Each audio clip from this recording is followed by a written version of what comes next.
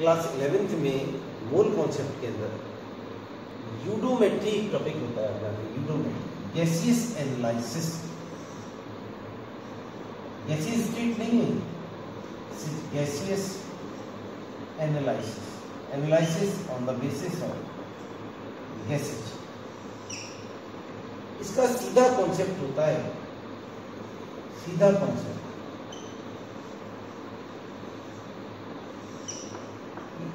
similar set of condition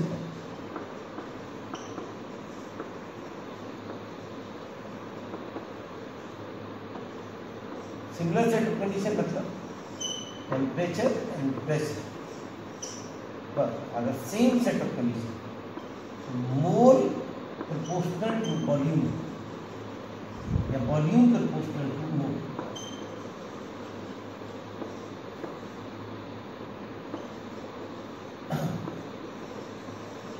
आसान सी बात गेलुसेक के बेस पे काम कर सकते मतलब one mole C O two and one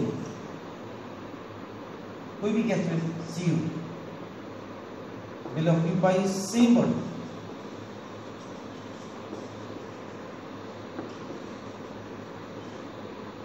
under. Same condition of temperature and pressure. बहुत आसान टॉपिक होता है। बस मेन बात है क्या हम इसको ऑब्जेक्टिव एग्जामिनेशन में लगा पाते हैं, नहीं लगा पाते। मेन चीज़ है ऑब्जेक्टिव एग्जामिनेशन जब आपको क्वेश्चन एक मिनट से भी कम टाइम में करना होता है क्वेश्चन को देख के सॉल्व करना होता है। एक और खास बात है इसमें। यूरोमेट्री का जो मेन प्रिंसिपल है उसमें जिसे सी ओ टू गैस है। और अगर हम इसे क्यू एस से पास करें तो क्यू एच पूरी सी टू को खा ले सी ओ टू बचेगी। सिमिलरली अगर हम कार्बन मोनोऑक्साइड गैस को और एनहाइड्रस क्यू प्लस क्लोराइड से पास करें तो सारी ओ को खा जाएगा सी ओ नहीं बचेगी वाटर लिक्विड का वॉल्यूम गैसेज के कंपैरिजन में।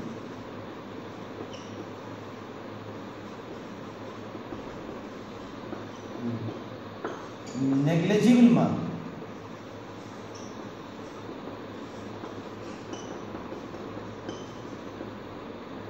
ऐसे ही अगर हम ओजोन ऑक्सीजन एल्केलाइन पायरोगेनॉल से पास करें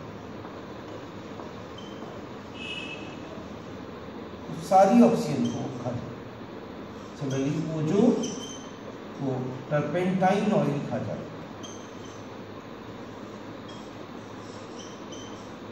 ये कुछ छोटे से principles C O two C O two and ओजो जैसे हमसे कोई कहे, आसान सी बात है। हमसे कोई कहे जब हमारे पास में 500 hundred M L gaseous mixture of CO and CO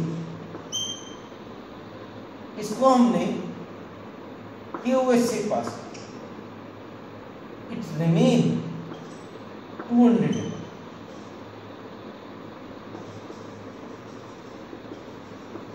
उसने आपसे पूछा percentage of C O two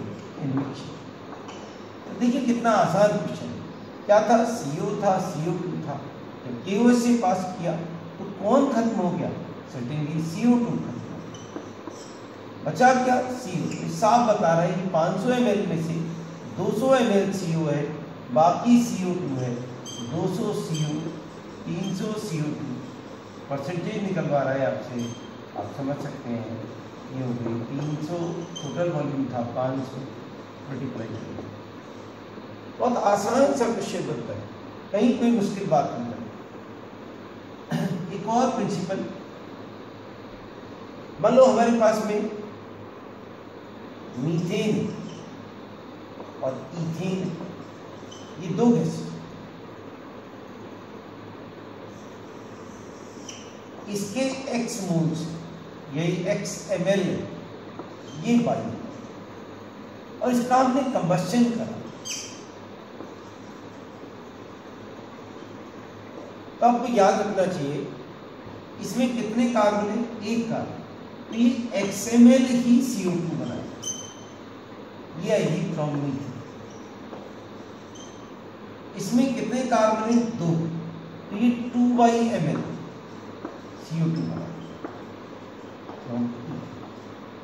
इसी तरह के बहुत सारे क्वेश्चन आपके साथ में शेयर करेंगे। मेनली इन्हीं प्रिंसिपल पे यूडोमेट्री चलती आसान होती एक और फॉर्मूला ऑफ़ हाइड्रोकार्बन सेट करने वाला क्वेश्चन किसी दिन आपसे शेयर करेंगे यह देखिए नीट 2018 में एक क्वेश्चन आया। थोड़ा मुश्किल क्वेश्चन है।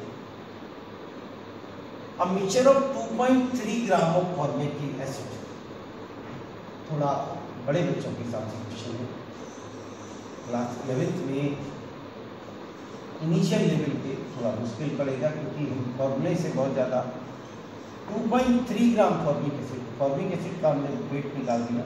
ये आप जानते हैं, ये हो गया 12 plus thirty two plus two ये आ गया 46 आप देखें 2.3 अपॉन 46 जैसे वन बाई ट्वेंटी मोल हमारे पास भी बहुत एसिड तो ये पढ़ते समय आपको समझ में आ जाना चाहिए था ये one by twenty mole 4.5 gram of oxalic acid.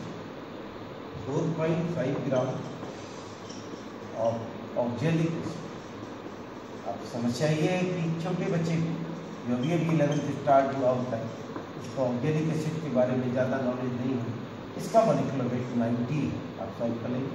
मूल आ गया four point five upon ninety जैसे one by twenty one by twenty mole तो फॉर्मिक एसिड है और वन बाई ट्वेंटी मोल ही क्या है हमारे पास? ऑक्जेलिक ये आपको दे रखते हैं। इसको CO2 से पास वो H2SO4 से पास तो रिएक्शन बेस नहीं है ज़्यादा, ये उसका क्वेश्चन होता है यूडोमेट्री का। फॉर्मिक एसिड को अगर हम H2SO4 से पास कर देंगे। H2SO4 डिहाइड्रेटिंग एजेंट होता है हमेशा। पानी निकाल देता है।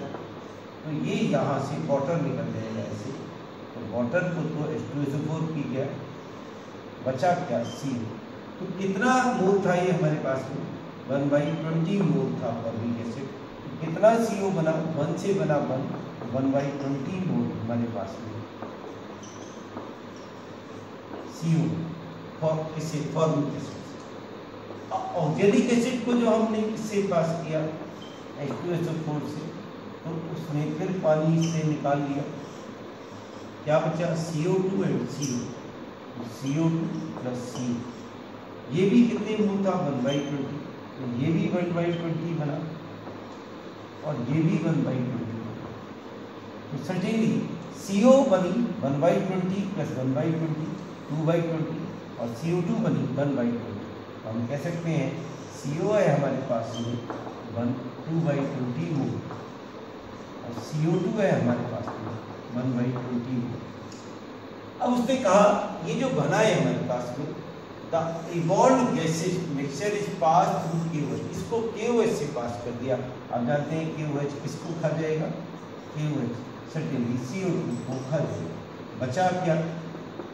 Two by twenty mole C O weight पूछ रहा है बेचारे का two by twenty mole C O का वज़न कितना होगा? टू बाई ट्वेंटी इंटू आप जानते हैं सी ओ सोलह प्लस बारह प्लस सोलह, कितना है? Twenty eight fifty six upon twenty आप दिखाई समझ आ गया होगा। कितना बचा है बोलिए? जैसे टू पॉइंट एट ये आसान क्वेश्चन था, लेकिन एक बार प्रैक्टिस करनी पड़ेगी आपको। मैं आपको एक प्रैक्टिस प्रॉब्लम करा देता हूँ। इसमें साथ में मान लो आपसे कोई कहे, इस, इसी क्वेश्चन को आपको प्रैक्टिस के रूप में दे दें आपको। सेम क्वेश्चन लेकिन अब की बात। आपको खुद से सॉल्व करना है।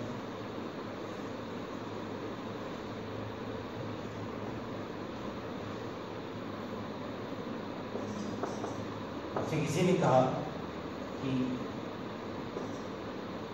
टेलीग्राम और mixture contain formic acid and oxalic acid बाद heated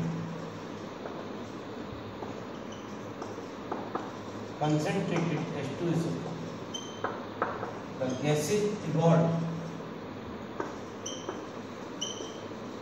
but passed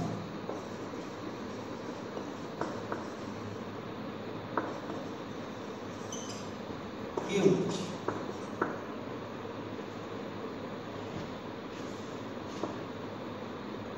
After that,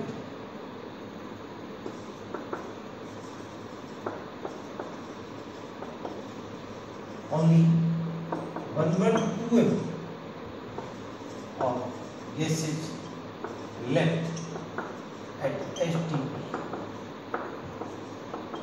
Find percentage of formic acid.